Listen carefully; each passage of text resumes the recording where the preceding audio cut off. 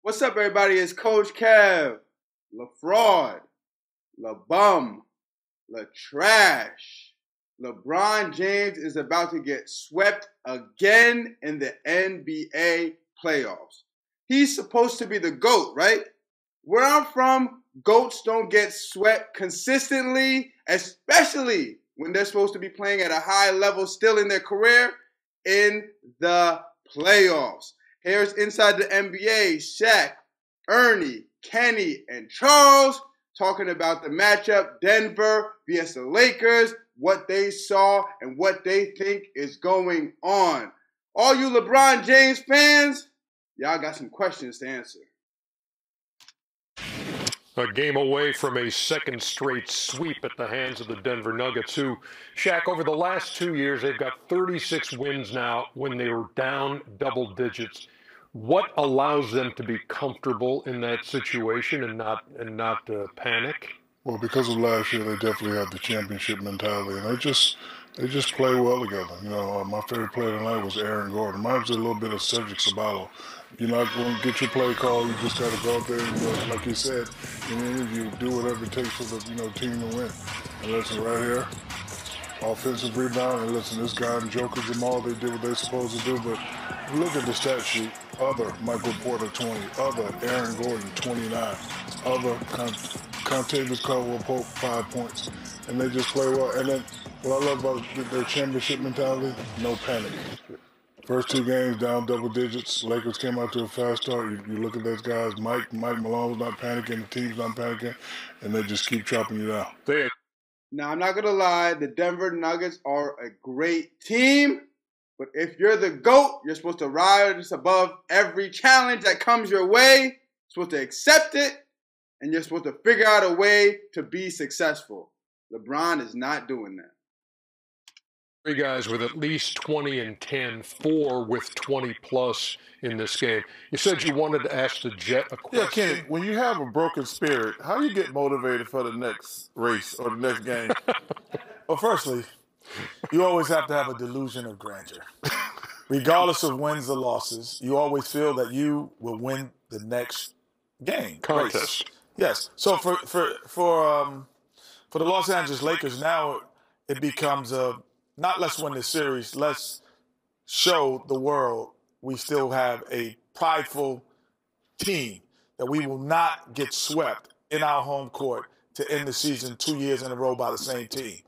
Then if you get one, then you start talking about can we be number one, the first team that can win a series? I mean, you you have to be delusional. that's the answer. You have to be delusional. Well, that's well. So you're gonna keep running to the board till you win one. Oh, okay. Okay, You know, Ernie, okay. Ernie I, I, I, I I am shocked right now. You know, I said before tonight, I said I would be totally shocked if the Sixers and the Lakers did not win, and my Sixers came through. But what disappointed me about the Lakers, there was no point in that game where you saw desperation, or you thought they were gonna win the game. It, it, it, it's like they had like we're gonna lose this series 4-0. They were playing like it was a scrimmage, in my opinion. But at no point do you see that game that you say they were playing with desperation. Well, Shaq said they were going to win by seven at halftime Yeah. and actually hit the number on the head again. Yeah, second That's straight true. night. But, but, but, but, but because we were doing, he knew that because what we were talking about. At no point did you think Denver was going to lose that game. The Lakers were like, man, they don't realize they're down two zip. Because you see, you saw it with Philadelphia, man. They were playing, they were all over the place with great energy.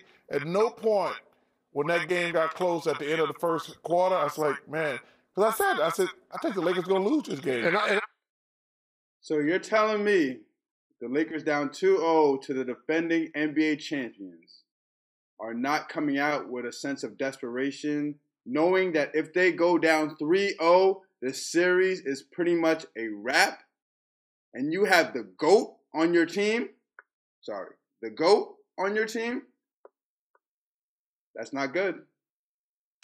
no, going in, if you would if you would have told me, hey, Denver's going to be up in this series three nothing. Nobody thought uh, that. But I wouldn't have looked at you and said, "You're crazy. That's not possible." But the way they've done it, by trailing by double digits in each of these games. I- That's what listen, surprises You know, me. you Kenny talk about delusion. I actually thought this was going to be a great series. I, I really did too. I did too. I, I did. I thought this. I said, man, this is going to be a six or seven game series, and they have taken their heart away. They and they're not going to say anything.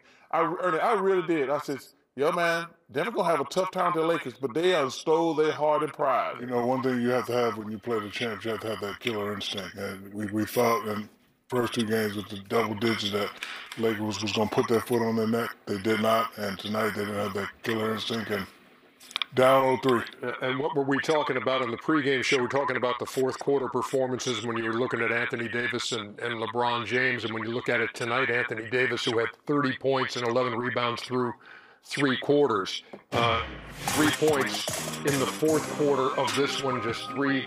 Yeah, but I, I, I think that's deceptive. To be honest with you, Ernie. Yeah, it's One not for three is not deceptive. Uh, it- no, no, no. because they were down double digits. Yeah, he played well. They did- he, he, after, like, the game was not close in the fourth quarter like that other game was. So Anthony Davis comes out the first three quarters, as you see by the stats on the screen, killing first three quarters in game two and three. Fourth quarter, the money quarter, fourth quarter of, NFL, of the NFL, ninth inning of baseball, fourth quarter of the NBA, third period of NHL. Those are the money times. This is where the greatest players, the top players in the league shine. Put the team on my back and let me carry them to sunset. AD, you're not doing that. You are not doing that. They were down 12, 13 points. So it wasn't like if if it was a close game and they didn't go to AD like, Well, it was eight, eight going to the fourth. yeah, yeah, but they got down 13, 14 points. It- you never thought the Lakers going to win this game. Uh, It, it's my point. Like in, in game two, AD should have got the ball, but that stat right there to me is it's, it's misleading because they were down 12. They got it down to seven or eight with ele- with 30 seconds to go. That's just window dressing. Well, it, it might be deceiving, but it's accurate because there is a, No, you know what's accurate? a style of play that the Lakers are consistent with. What's accurate is you can't go 24 minutes and not have one point. That's accurate. So Who's D'Ang- D'Angelo Russell needs to step up. 24 minutes and no point. I'm, I'm not saying it's his fault. I'm just saying he needs to I, I mean, up. there's a lot. I mean, for me, I think he's a, a, a, an ancillary, complementary player. Yeah, but If you can't go 24 well, minutes in playoffs and not score. That, that, Shaq is 100 percent right. You can't go over seven Yeah, he in, got, a, in a must-win game. he got the same points as me, you, and Chuck tonight. 112, 105. That's your final score. Denver Nuggets up 3 nothing in this first rounder in the 2 7 matchup. And they will try to close it out on Saturday night. It's going to be on ABC. That's exactly right.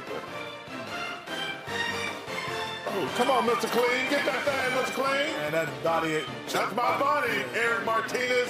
That's what Chuck looked like in an all-white outfit.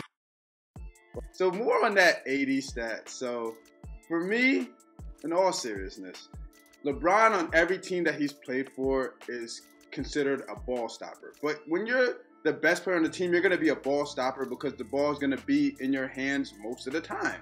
Most of the percentage of the time, the ball is going to be in your hands. So that's why you would be considered a ball stopper. It's not about coaching. It's not about players.